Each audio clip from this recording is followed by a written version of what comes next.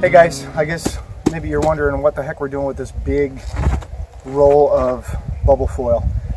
We have had an issue last year, and it was our first winter in the house, with the floors being cold. And part of that is because the two rooms that we want to concentrate on are not built over a foundation. They were add-ons after the fact. I honestly think they took the existing deck, and enclosed it all. It is insulated with R13 underneath the floorboards, but it's opened up underneath where there's no foundation. It's open. So we wanted to give it an extra layer of insulation in the hopes that it helps uh, curb the cold floors. And I did some I, I, did some research on this bubble foil wrap, and I want to thank our friends from over at InsulationStop.com for helping us out with this product and some of the tips on how to insulate.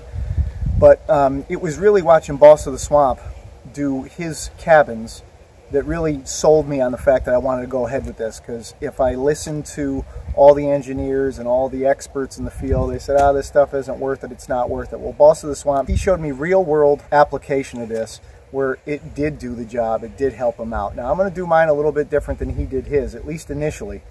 Uh, I'm going to just go ahead and put some furring strips down on the joist and then go ahead and put this over the furring strips. So there's going to be a small air gap between the existing insulation that's in between the joists and this radiant bubble foil. So I'm going to go ahead and do that here with my with my boy Ethan and I'm going to show you how it works along the way and then we're going to go back and we're going to talk to you about whether or not we see a real difference.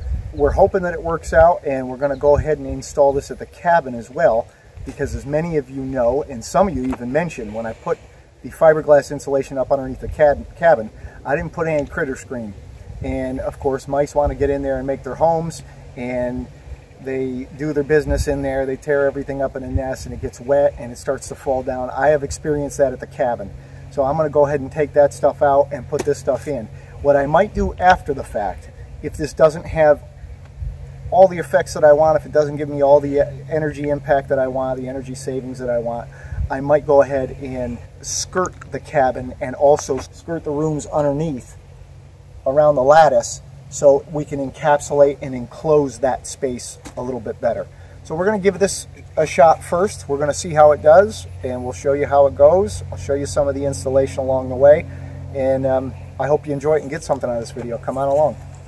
All right, so this is what we're looking at up underneath the room. This is Ethan's, well, we call it his office. It's where he has all of his guitar stuff in his desk. And you can see there's the foundation.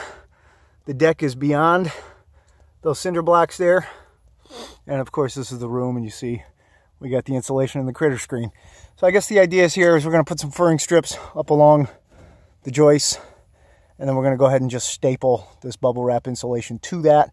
We also have a roll of this Reflectix tape. It's the aluminum tape that's made for this purpose. And there should only be one seam because this is only about seven feet across and I have 48 inch material. So we're going to just overlap it a little bit in the middle and we'll go ahead and we'll run a strip down the middle of this Reflectix tape. And possibly along the outside as well. We'll see how this all goes together.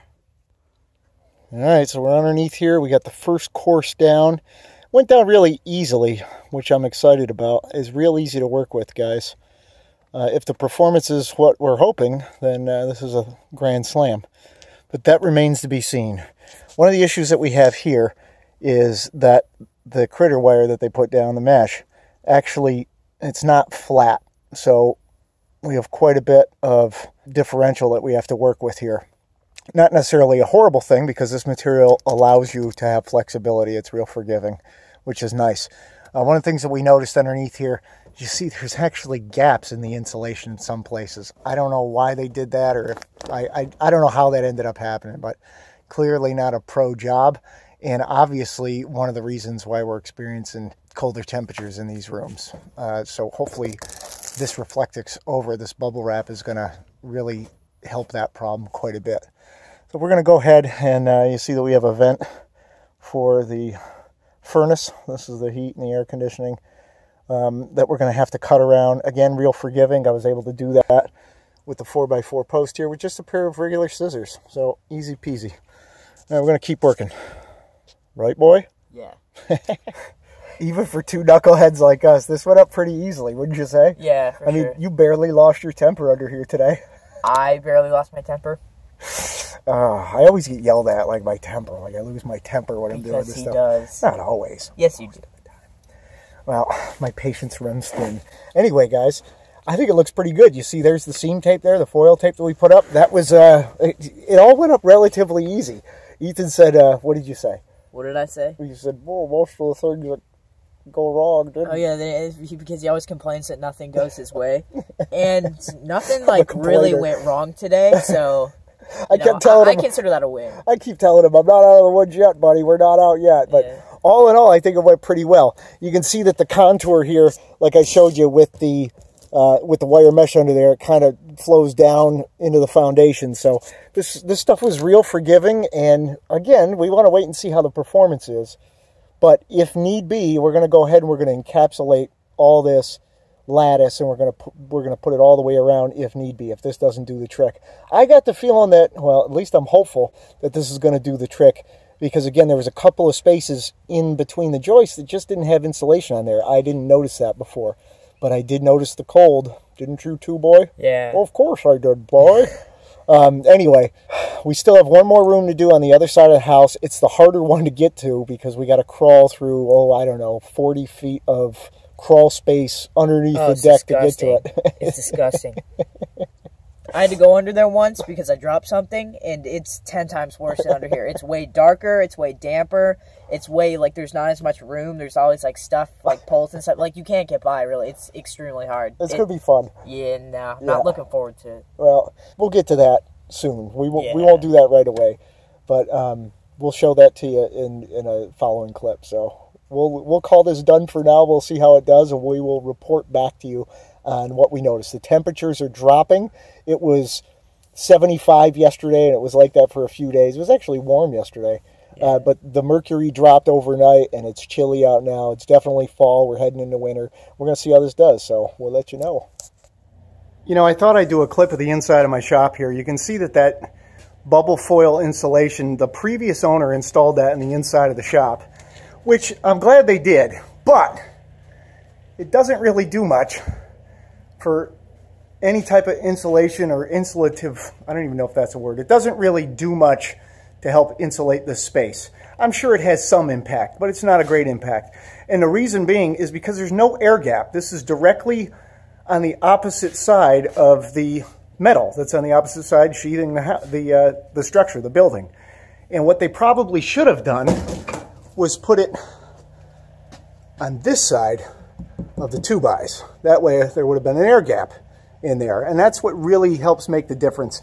The good news is if you check out insulationstop.com, they actually have uh, instructions and pictures and uh, different ways that you can install this type of material depending on your particular application. So, um, and it, it even gives different R values on there for the different types of or the different ways to install it. So check that out. Again, so it has been uh, roughly, I guess, a little two weeks, maybe a little over two weeks since we put in the bubble foil from insulationstop.com. And I have no scientific evidence to back this up. I just have kind of a, a real life experience. Now, I went through and I asked everyone in the house how they felt it was this year temperature wise as opposed to last year. And we had some cold weather. I mean, we got down into the 20s at night. And again, no scientific information to back this up, but we all feel like it's been warmer. The floor feels warmer. By the way, I think I said in a prior clip that we had R13 in the floor joist, and it's actually R19. And so the bubble foil we put over that, like I showed you. And the idea is that um, you lose the most amount of your heat through the roof. Everyone seems to know that, right? It makes sense. Heat rises. Well, I think what most people don't realize, or at least I didn't realize until I looked into this, is we lose the second amount, the second most amount of um, thermal heat through the floor, not through the walls. So it's through the floor. So with this bubble foil uh, radiant barrier underneath the floor, it's pushing some of the heat back up through the floor joist and back into the floor, and it's not allowing it to escape from the floor, at least not as much as, as it was. And that's our general uh, consensus here around the house is we all feel like, yeah, it's been warmer. Now, with that said, and in all fairness, we did do some other things throughout the uh, off season, throughout the summer, to better insulate some of the gaps that we had around the windows, around the doors. So by and large, the floor feels warmer. So I got to say, you know, that was a success. I can't wait to try this out on the camp.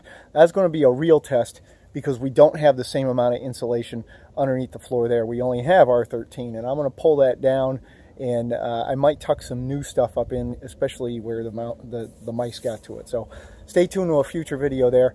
I got to say thanks again to InsulationStop.com. You guys were great, um, and the product was great, easy to work with, like I said, and I think it did have a real impact. So thanks for watching. Y'all have a great day.